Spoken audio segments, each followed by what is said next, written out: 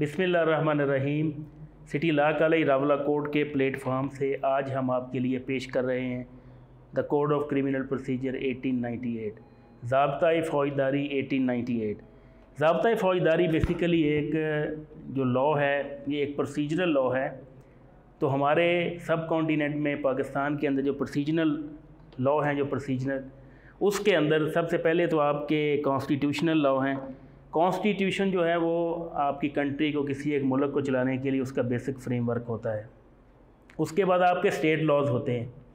State laws کے اندر ایک پروسیجرل لا ہوتا ہے، جس طرح سی آر پی سی ہے سی پی سی ہے کیو ایس او ہے Q S O nineteen eighty four اور اس کے ساتھ اسٹیٹ کے پینل لاز ہوتے ہیں۔ پینل لاز کے اندر پاکستان پینل کوڈ ہے، جس کو تعدیرات پاکستان کہا جاتا ہے۔ اور کوڈ آف کریمنل پروسیجر یہ سی آر پی سی اور اس کے بعد P P C Pakistan penal code ان کے اندر ایک برج کا کردار ادا کرتا ہے۔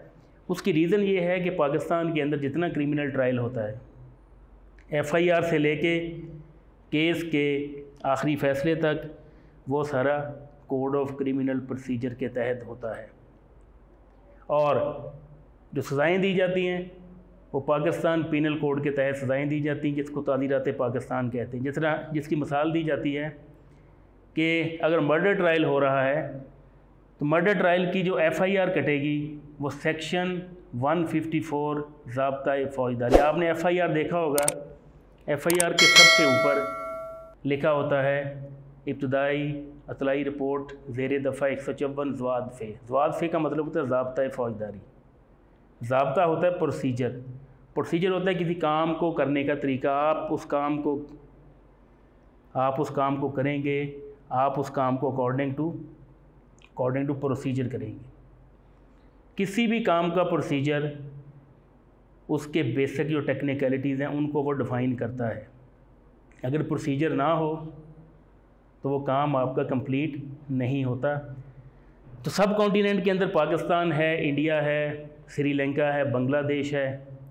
ان کنٹریز کے اندر C R P C eighteen ninety eight کے تحت ہی کریمنل جسٹس سسٹم جو ہے وہ بنا ہوا ہے۔ اب یہاں پہ ایک کوشچن اسٹوڈنٹس کے یا ویور کے ذہن میں یہ بھی آئے گا کہ یہاں پہ برٹش کا جو سسٹم ہے، یہ کیوں بنا تھا سب کانٹیننٹ کے اندر؟ اس کی ہسٹری میں ہمیں جانا چاہیے۔ ایٹین ففٹی سیون میں جب جنگ آزادی ہوئی تو اس کے بعد سب کانٹیننٹ میں جنگ آزادی سے پہلے ایسٹ انڈیا کمپنی ہوتی تھی۔ ایٹین ففٹی سیون کے بعد جب یہاں کے لوکل لوگوں کو اس میں ڈفیٹ ہو گئی، شکست ہو گئی، اس کے بعد سارا سب کانٹیننٹ برٹش راج کے انڈر آ گیا تھا۔ اور برٹش نے سب سے پہلے جو کام کیا یہاں پہ، وہ یہ کیا تھا کہ انہوں نے Indian penal code eighteen sixty کے اندر نکالا۔ وہ لاء تھا پینل لاء تھا۔ اس کو تعدیرات ہند کہتے تھے یا پاکستان بنا۔ تو اس کے بعد تعدیرات پاکستان میں یہ کنورٹ ہو گیا۔ اسی طرح نیکسٹ ایئر انہوں نے ایٹین سکسٹی ون میں police act eighteen sixty one بنایا۔ اس کے پیچھے ٹیکنیکل ریزن تھی یہ ایک۔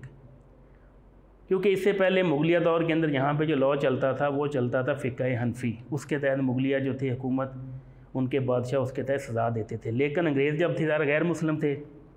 انہوں نے اپنی عدالتوں کے فیصلے فقہ حنفی کے تحت تو نہیں کرنے تھے۔ تو انہوں نے لاء کی کوڈیفکیشن یہاں پہ سٹارٹ کی۔ سب سے پہلے جو سب کانٹیننٹ میں لا کوڈیفائی ہوا، وہ تھا I P C Indian penal code جس کو تعدیرات ہند کہتے مجموعہ تعدیرات ہند، اٹھارہ سو ساٹھ۔ اس کے بعد پولیس ایکٹ آیا، اٹھارہ سو اکسٹھ میں۔ اب یہاں پہ آپ کے برین میں، آپ کے دماغ میں ایک اور کوشچن آئے گا کہ آئی پی سی پہلے کیوں آیا اور پولیس کا ڈپارٹمنٹ اس کے بعد کیوں؟ اس کے اندر بڑا ایک ریلیشن ہے۔ ریلیشن کیا ہے؟ کہ جب ایٹین ففٹی سیون کی جنگ ہوئی تھی وار آف انڈیپینڈنس ہوئی تھی، اس کے اندر یہاں کے لوکل لوگ جو تھے، انہوں نے اس کے اندر پارٹیسپیٹ کیا تھا۔ اب لوکل لوگوں کو سزا دینے کے لیے ایک لا ہونا چاہیے تھا، جو انہوں نے آئی پی سی کے نام سے نکالا۔ اور لوکل لوگوں کو اریسٹ کرنے کے لیے، گرفتار کرنے کے لیے، پکڑنے کے لیے انہوں نے پولیس کا ڈپارٹمنٹ بنایا تو یہ ریلیشن ہے ان کے ساتھ۔ اس کے بعد لوگوں کو سزائیں دی گئیں۔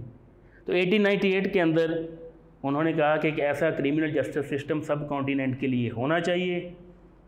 اس سسٹم کے لیے انہوں نے پھر C R P C code of criminal procedure eighteen ninety eight اس کو نکالا، اس کو کوڈیفائی کیا۔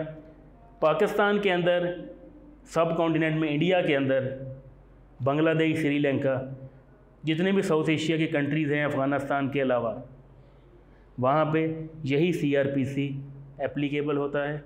پاکستان کے اندر بھی section one fifty four F I R کی سیکشن ہے۔ انڈیا کے اندر بھی section one fifty four F I R کی سیکشن ہے۔ بنگلہ دیش کے اندر بھی section one fifty four F I R کی سیکشن ہے۔ پاکستان کے اندر پی پی سی کے اندر کچھ بیسک جو لاز تھے، ان کے اندر امینڈمنٹ انڈیپینڈنس کے بعد کی گئی۔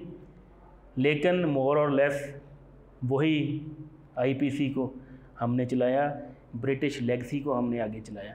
تو سی آر پی سی کے اندر سب سے پہلے میں آپ کو ایک اور بار ڈیفائن کر دوں کہ اس کی اپنی جوریڈکشن ہے۔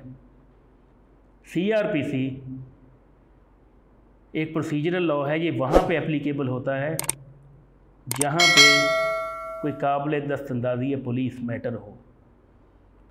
اب اس کی بہت سی ڈیفینیشن ہے، قابل دست اندازی پولیس میٹر کون سا ہوتا ہے؟ سمپل اس کا آنسر اگر ون لائنر دیا جائے تو تین چیزیں جو ایک ہیومن ایک انسان کی تین چیزیں ہیں۔ سب سے پہلے اس کی جان ہے، انسان کی عزت ہے اور اس کا مال ہے۔ ان تینوں چیزوں پہ فورسفلی کوئی اٹیک کرتا ہے۔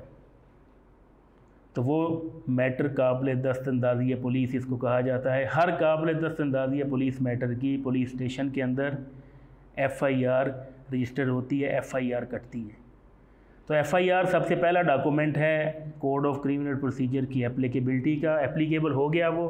اس کے بعد دوسرا جو ہے اس کی جو کریمنل کورٹس بنی ہوئی ہیں، پاکستان کے اندر وہ ساری ہی سی آر پی سی کے تحت بنی ہوئی۔ پاکستان میں کریمنل مجسٹریٹ کی جتنی کورٹس ہیں، وہ سی آر پی سی کے تحت بنی ہوئی ہیں۔ سیشن کورٹس جو ہیں، وہ سی آر پی سی کے تحت بنی ہوئی ہیں۔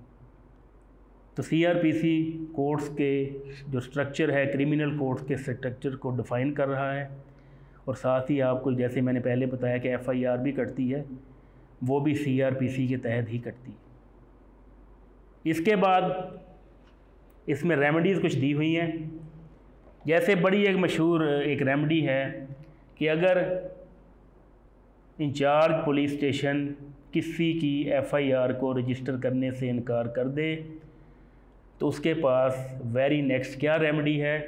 تو اس کے پاس ویری نیکسٹ جو ریمیڈی ہے وہ یہ ہے کہ وہ بائیس اے اور بائیس بی کی اپلیکیشن جسٹس آف پیس کو دیتا ہے۔